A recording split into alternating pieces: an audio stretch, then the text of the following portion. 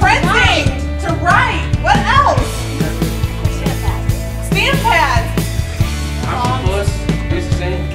yeah, an octopus can use ink. What else? Designs? Absolutely.